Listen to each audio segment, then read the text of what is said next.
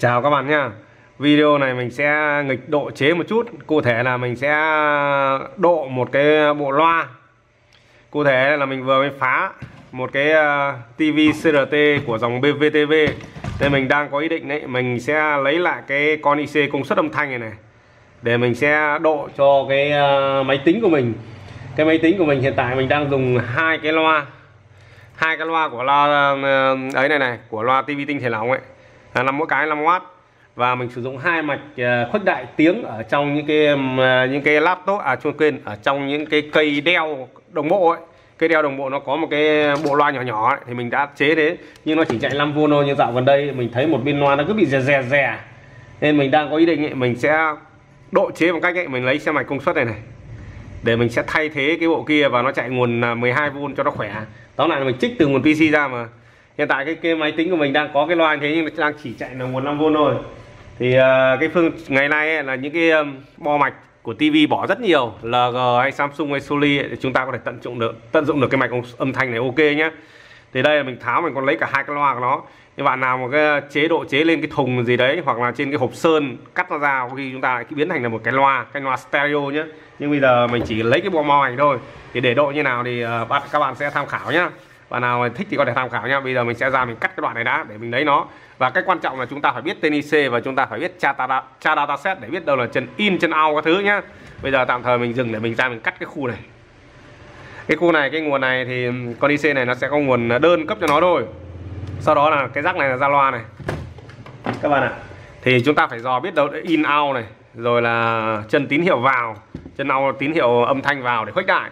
Rồi nó hay có một chân chân là standby tức là chế độ câm tiếng ấy các bạn ạ chúng ta phải biết can thiệp vào nó nữa cơ nhá chứ không phải uh, uh, mạch nào cũng thế các bạn ạ. Đa số trong những ờ, uh, IC âm thanh IC công suất loa ở TV nó đều có một cái mạch một cái chân gọi là chân mute câm tiếng các bạn ạ. Chờ mình đi cắt nó đã. AL7522N nha các bạn nhá. Thì tất nhiên ấy là các bạn cắt ở những cái bo mạch của TV khác thì nó là tên khác nhá, nhưng bây giờ chúng ta sẽ phải vào dataset để chúng ta tra, để chúng ta biết chức năng chân nhá. Đây, chờ mình mở máy tính. Đây, mình đã cắt nó này. Mình đã cắt cái ờ, mạch của nó và hiện tại mình đang muốn đặt nó làm trong này luôn. Để mình nhét nó vào đây. Để trong này luôn này, mọi người nhá. Lợi dụng nguồn PC luôn để làm. Đó, mình đang ở cái PC của mình này. Mình mình ờ, Google mình tìm kiếm này và nó sẽ ra dataset đây. Mình vừa vào qua thử rồi rất nhiều lơi cơ. Con này của Panasonic mới hẳn hoi mới ác ấy. thì đây nhá đây là chính là cái dataset của nó để chúng ta sẽ tham khảo xem chân nó như nào nhá. Như vậy là con này là hai kênh hai kênh này. 5W mọi người nhá chạy theo kiểu BTL luôn. Như vậy là nó không có tụ suất áp ở đúng không có tụ suất áp thật các bạn nhá. Chạy đẩy kéo bên trong luôn. Như vậy là khả năng khỏe đấy. Thì ờ, điện áp chỉ lượng cao nhất của nó là 14,4V này áp này này. Thì như vậy là chúng ta sẽ mình đang dùng cái cái nguồn 12V PC nó ok nhé mọi người nhé à, điện áp ô nó còn chạy 5V cũng được. Nó có thể dao động từ 3,5 cho đến 13,5 tóm lại là điện áp thấp thì công suất nó nhỏ và tiếng chống đánh nhẹ tiếng tiếng nó tiếng nó nhỏ các bạn nhé nhưng mình đang khai thác ở nguồn 12V chứ không phải 5V như hai cái con này nữa này. Đâu giờ cho mọi người nhìn luôn này đây là hai cái loa mình đấu lâu rồi nhưng một cái loa đang bị rè đây là hai mạch công suất lấy ở trong cái ờ, kép ờ, đeo ấy, đồng bộ ấy. nhưng mà dạo này nó đang bị rè rè không phải do loa đâu do mạch của nó có vấn đề đấy. Do nó tải loa to quá hay sao ấy. Thì bây giờ chúng ta sẽ quan tâm chân nó nhá để mình sẽ đưa xuống này để mình tìm chức năng chân này. Rồi chức năng chân này. Như vậy là chân 1 là chân VC nguồn nuôi vào. Chân 2 và chân chân 3 là chân GND thoát mát cho những cái phần xử lý tín hiệu bên trong nhá rồi là chân 2 chân 4 chính là một chân ra nó ra là loa 8 ôm, nhưng hiện tại là zin bản trên cái mạch của cái loa, của cái TV này là nó sẽ chạy cái loa là 16 ôm 5W thì hiện tại là mình đang có cái bộ này cũng là 16 ôm 5W luôn, giống hệt luôn. Nên khả năng càng ngon. Tóm lại là nếu mà 8 loa 8 ôm thì công suất nó sẽ mạnh hơn nhé và con IC nó sẽ nóng hơn. Nhưng mà mình nghĩ là nó vẫn ok thôi, các bạn ạ tóm này là loa 4 ôm thì ờ, thì thì nó nó hơi nặng tải. Nhưng mà mình sẽ lắp loa 16 ôm thì nó sẽ tải nhẹ hơn. Zin bản nó là chạy 4 ôm này à, chạy 8 ôm này. Thì như vậy chúng ta biết là đây hai chân ra này. Thì ở đây nó sẽ ghi đấy. Ở đây là cái mình vẫn ờ, để yên cái này là cái ờ, ra loa này mọi người này. Tiếp theo nhá. Chân 5 là chân on up đấy standby đấy các bạn ạ. Các bạn nhìn thấy này. Như vậy chúng ta sẽ biết đấy là ở không vôn là standby tức là chế độ nghỉ còn ở 5V là on. Mình đoán thế thôi, nhưng mà phải à, phân áp thử. Như vậy là nó sẽ có nguồn 5V tới đây là đi qua con 6 68k là đi vào phân áp về mát là 270k này, có tụ 10 mi lọc này. Thì như vậy là cái con chỗ này có thể mình sẽ đấu trực tiếp sang chân 1 để nếu mà là nguồn 5V là nguồn nuôi à, là ấy đấy, là lệnh on chẳng hạn, phải, chúng ta phải can thiệp. Tóm lại là phải có một cái điện áp cao ở đây, xem là nó ở chế độ câm tiếng hay là điện áp, không có cho điện áp cao đây, thì là nó là chế độ là mở tiếng ấy. Chúng ta phải quan tâm cái đấy nữa tiếp theo thì ờ, chân 6 là chân ờ, audio vào một đấy vào đây này. tín hiệu âm thanh nhỏ vào đây một vào đây này. Nó sẽ ra ở đây. Tương đương với tín hiệu âm thanh vào hai đây thì sẽ ra ở đây. Các bạn nhé và ở đây nó có một cái chít ạ có một cái ôi nó con này nó còn có cả một cái volume nữa này. Không vôn volume và 1,5 ôi rồi nó lại có cả con IC này hơi độc lạ rồi. Thế là từ vi xử lý từ MSU của cái bo kia nó đưa xuống một cái lệnh này hơi phức tạp một chút nhưng mà thôi rồi mình sẽ cố, cố gắng mình sẽ độ được cho nó các bạn ạ. À, nó lại có lệnh volume này nữa cơ. Mọi người nhé nó lại thế đúng là cái loại IC hơi lạ. Thôi mình sẽ thử làm xem được không nhá như này mà hơi khó một chút nhưng mà mình sẽ thử cố gắng nhá. Còn đây là ngõ ra ao hai thôi loa thứ hai nhá mọi người nhé đấy chúng ta biết chức năng chân rồi bây giờ chúng ta sẽ thực thực hiện nó. Kiếm được con à, đánh kiểu BTL hóa này đỉnh ấy các bạn ạ. Con IC này. Thì đây nhá à, mát của nó chính là cái miếng nhôm tản nhiệt này rồi. Thì đây là mình đang à, tiện dùng cái cái cái rắc này để mình cắm vào cho cái rắc PC luôn. Thì dây vàng nó là 12V và dây đen nó là GND nhá. Thì chúng ta sẽ thấy này. Dây à, vàng mình cho vào chân 1 là chân VDC nhá. Và chân à, uh, GND đây toàn mạch đây. Thì ở đây nó sẽ đi rất là nhiều trên cái mạch nữa thì ok. Tiếp theo này chúng ta sẽ quan tâm đến uh, hai chân. Còn những chân khác thì chúng ta à, à, như chân à, 2 chân 4 và chân 10 chân 12 đó chính là ra loa nhá. Và con này nó chạy BTL do đó mà như một số cái mạch khác ấy thì là cái con IC công suất này nó đưa ra nó sẽ được xuất áp qua tụ nó mới đi ra đi qua nó mới đi ra loa các bạn nhá. Thì là con đấy nó đánh theo kiểu tóm lại đánh kiểu BTL như cái này mình cứ hiểu luôn là một mạch công suất bên trong để chạy được nguồn đơn thôi. Nhưng để cho chạy à, loa chạy à, dòng chảy loa ngược xuôi ngược xuôi thì là bên trong nó có bốn con công suất bốn con công suất chạy theo kiểu cầu hát. Tức là mỗi một mạch công suất ra trên 2 trên 4 này là một là bốn con sò. Và 10 12 cũng là bốn con sò để nó chạy cầu hát nó sẽ chạy kiểu đẩy kẹo à, chạy ngược chạy xuôi được các bạn nhé Đấy, BTL nó có cái hay như thế đấy các bạn ạ nhưng con này không biết nghe con đỉnh không mình chưa thử. Thì tóm lại là nguồn đơn để mà chúng ta thấy không có một dây chân loa một dây ra loa là không phải là GD toàn mạch thì chúng ta sẽ biết là đánh kiểu BTL nhá thì chúng ta sẽ quan tâm đến chân 5 và chân 9 thôi. Con này là có cái khó là cái volume này nhưng mình đã chế ok này. Thì chân 5 nó chính là chân standby và mình vừa mới check thử ấy, thì là chân 5 nó phải có 5V thì bắt đầu nó mới hoạt động. Các bạn nhé thì 5V mình sẽ lợi dụng đúng cái nguồn 12V này thôi. Thực tế là mình có thể câu từ cái dây đỏ này xuống được 5V từ máy tính mà mình đang dùng nguồn máy tính mà nhưng cũng không sao. Giả sử như các bạn mà đấu bằng biến áp thì các bạn không có nguồn thì các bạn có thể chơi như này nhá đó là mình lấy cái nguồn 10k ở đây nó có hai con chan to nhá. Mình tháo một con một con chan to liên quan đến lệnh mở từ vi xử lý đến để cấp nguồn 5V vào đây hay không. Còn một con nữa thì liên quan đến điều khiển volume nhưng mình sẽ bỏ hết mình sẽ đấu theo đứng như này thôi. À, điện áp 12V tại chân 1 này. Đi qua con 10k đầu tiên ở trên zin trên bản này nó là, là chỉ là con 1k nhưng mình thay con 10k nhé 10k vào và trên cái đó nó sẽ có con tụ và con 100k dập mát lọc và dập mát nữa thì mình cũng để nguyên mình cũng trả thay có cái mình chèn thêm con DZ 5V 1 vào thôi. Để ghi một cái điện áp đây ở chân 5 là 5V khi cấp nguồn 12V cái thì 5V có để mở, để cho nó mở chạy. Mọi người nhé và tiếp theo ấy, tóm lại là chân 5 phải có 5V nhá. Một xác định điện áp cao, tất nhiên nó không vô là nó tịt, nó không không ấy đâu. Đây chính là lận công lận cầm tiếng đấy. Tiếp theo mình lợi dụng cái nguồn 5V ở đây luôn. Đi qua một con 10k con 10k mình vẽ thêm này này. Đấy, từ cái chân số 5 đấy. 1 2 3 4 đây chân 5 này. Đi xa qua con 10k đi qua con 10k để đi tới chân volume. Thì 10k này với lại con 10k chiết áp mình nắp thêm này này. Thì nó tương đương với là cầu phân áp nhé ví dụ như cái cái này nó nằm đến xuống đến tận đây này. Thì cái tương đương với chúng ta sẽ thấy là 10k 10k thì là ở đây sẽ là khoảng 2,5V mọi người nhé trên mạch này thì nó có DZ ghim có tụ thì mình cũng không quan tâm là 2,5V và như zin bản trong dataset ấy thì là cái điện áp tại chân 9 ấy nó sẽ dao động từ 0 cho đến 1,25V 1,25V là volume max 0V là là ờ, là, là câm tiếng là im im nhỏ nhỏ nhất mọi người nhé thì chúng ta sẽ thấy ở đây là khoảng uh, 2,5V này 10k 10k nhưng mà nó không đạt đâu nó sẽ bị sụt áp. Rồi nó đi qua con 10k zin bản này và một con điện trở dập mát nữa thì ở đây nó đang thấp quá nên vào đó mình vặn volume nhưng mà mình nghe thấy ok có cái mình muốn nó to hơn ấy có thể là mình con này là con 10k nhá. Mình có thể chèn con 10k đây để cái điện áp tại đây là phân áp đây và đây là 2,5V thì nó sẽ đưa vào nó cao thì nó sẽ nó sẽ lên đến đợt được là 1,25V thì nó sẽ mở to nhá. Chết áp mình sẽ lắp đúng như này luôn. Đó là hai chân này được dập mát hai chân ờ, giữa và chân này dập mát và một chân là chân bên ngoài này là nó sẽ đi lên đến vị trí này. Các bạn ạ tóm lại là khi chúng ta vặn ấy giả sử mà chúng ta ở chế độ mà câm tiếng nói nhỏ nhất ấy, thì là cái chiếc áp này đi lên trên này.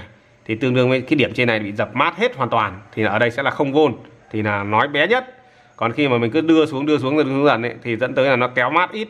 Thì điện áp đây sẽ dâng lên dâng lên thì nó sẽ nói to nhé đây mình sẽ test cho mọi người này. Con này này uh, nó lại có hai cái lệnh như này nên đôi khi tín tín hiệu volume mới đầu mình cứ tính là nghĩ là tín hiệu volume tín hiệu âm thanh vào RL là chân 6 chân 8 nhá. Thì đây, mình sẽ dò cho mọi người chân 6 chân 8 này. 1 2 3 4 5 6 đây là chân 6 nhá. Lấy led đã. Nó sẽ đi ngược lên, nó đi qua con tụ lối tầng. Như vậy là mình sẽ cho tín hiệu vào đây nhá. Và chân 8 này. 7 đây trên 8 này. Đó, đi qua tụ lối tầng. Tín hiệu vào đây là ok nhá. Đấy là hai tín hiệu vào. Và bây giờ mình đang dùng cấp nguồn của mình mình chỉnh ra 12V mình sẽ cấp âm ở đây. Và dương ở đây. Và mình sẽ loa mình thay đôi loa này rồi. Đôi loa này là 8 ohm 10W càng ok đánh càng khỏe. Mình ờ, loa này là loa chúng ta mà tận dụng cái loa của nó chúng ta phải lắp hộp cộng hưởng cho nó nhé lấy ống ờ, PVC hoặc là lấy thùng sơn các thứ cũng được nhưng mình ờ, lấy cái loa của, của TV tinh thể lỏng nên nó có sẵn hộp cộng hưởng rồi. Nên mình đặt ở kia luôn mà. Nó vẫn là đôi loa kia đấy đó, và chúng ta sẽ thấy nó không có gì nhá. Không biết là đang ở volume bao nhiêu. Đấy, có tiếng xè xè rồi này. Đấy, bây giờ mình cho vặn như này, mình sẽ đo cho chúng ta tham khảo nhá. Độ chế một chút để à, đây là 12V này. Đấy 12V nhá, mọi người nhá và tiếp theo ấy, con 12V nó đi qua 10k được ghi map và DZ để xác lập cái điện áp ờ, standby tức là mở cho con này khuếch đại đây là cái như là con IC khuếch đại công suất số ấy. thì tương đương đây đây các bạn này nó chính là cái chân này này. Nó chính là cái chân số 5 đây. 5V nhá mọi người nhá. 5V đi qua con 10k đi sang bên này thì ờ, hiện tại mình đang để volume ở cái mũi tên này này. Nó đang ở mức ở không này. Như đây là là 10k nhá. Thì 10k 10k thì chúng ta sẽ thấy là ở đây nó sẽ rơi vào tầm khoảng 1,8 chứ không cũng chưa được là 2,5 đâu. Bởi vì nó còn bị sụt áp qua cái cụm này nữa này. Nhưng đi qua con 10k nữa này tại chân 9 này chúng ta thấy nó chỉ có khoảng 0,5V thôi nhá. Nhưng mà nó đã ở trong cái ngưỡng chạy ok nhá. Từ 0 đến tất nhiên mình vặn này nó sẽ về không này. Đấy mình vừa vặn là con cái chân ở giữa đang dập lên trên này. Như vậy là 10k đang là 0k thì tương đương ở đây sẽ là mất điện áp thì tương nhiên là sẽ tịt nhá. Và bây giờ mình sẽ đấu tín hiệu đây sẽ cắt cái dây này để đấu tín hiệu ra sau luôn mà. Thực ra tháo vừa tháo ở kia ra chứ đấu thử thôi. Mát ở đây nhá. Hai cái dây này là dây đen là mát này còn hai dây kia là chính là RL đấy. Con này, này không cần volume ở ở ngõ, ngõ auto vào mà chơi cái trò volume ở một chân riêng. Các bạn ạ tóm lại là cái chân ờ, số 9 này nó đưa vào liên quan đến cổng khuếch đại thuật toán bên trong để nó khuếch đại lớn nhỏ đấy các bạn ạ. À, bây giờ mình sẽ lấy một cái mình thử nhá mình vặn volume lên hết cỡ đi. Mình thử chúng ta hai cái loa này nhá. Hai loa để hai bên để chúng ta sẽ biết là RL nhá. Bên nào to bên nào nhỏ nhá. Mình kích thử này ô chả có tiếng gì đang giờ đang nhỏ nhất thì sao đấy như này nhá thôi cũng chả có gì. À, tụt mát rồi. Đúng tụt mất nguồn thật chán thật đấy. Đang tụt mất cái nguồn ờ, 12V ra này.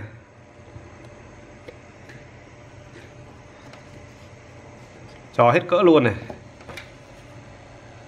Đó cái loa này réo này. Loa bên này réo nhá. Chúng ta thấy nào là lờ đấy.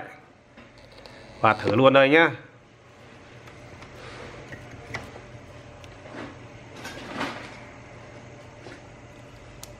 Chưa bật chứ này cho nhỏ một chút đã, sau đó mình sẽ to to to lên.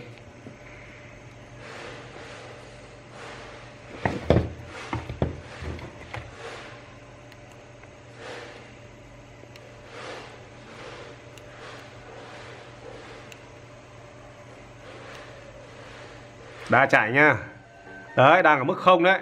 Đang không vô đấy, nó có có tiếng đấy, mà to lên này.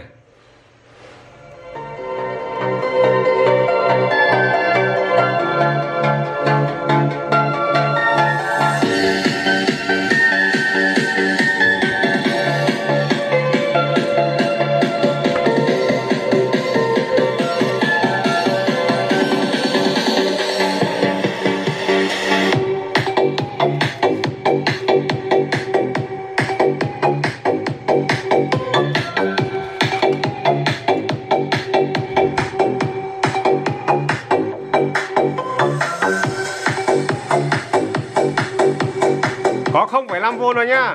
Chân volume ấy. Bây giờ mình sẽ tăng cái chân volume lên nhá. Bằng cách mình đấu ờ, song song một con điện trở nữa ở chân con này này để nó tăng lên nhá. Đấy chúng ta đang nghe thấy rất là bé nhá.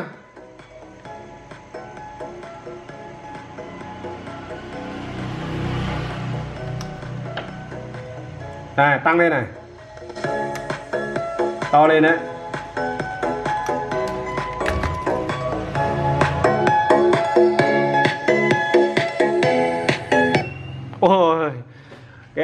Cấp nguồn của nó ngắt vì dòng cao quá thôi, mình chuyển cái bộ cấp nguồn to hơn.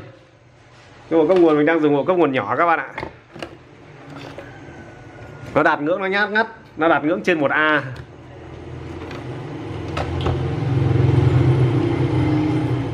đây là một công nguồn công suất lớn hơn này.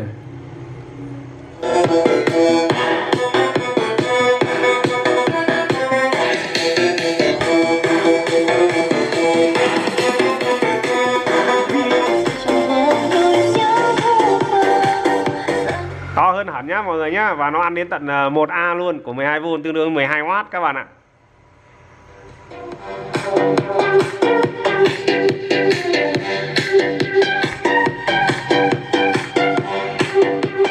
Thôi, bây giờ mình sẽ lắp hoàn thiện vào cái PC của mình cho chúng ta tham khảo nhá. Để lên cái ờ, vỏ này luôn, Các bạn ạ. Để yên như này, để lên cái vẻ vỏ này luôn.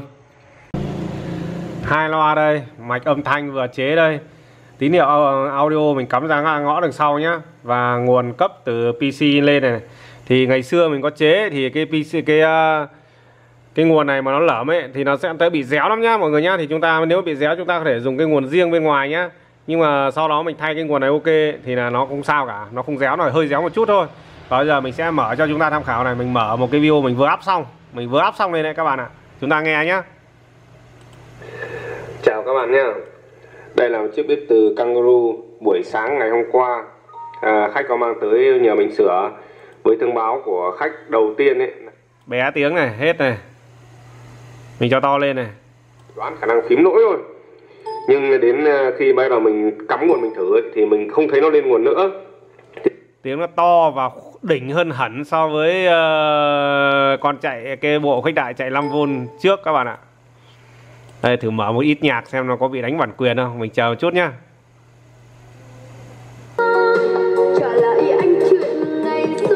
Ok mà các bạn nhé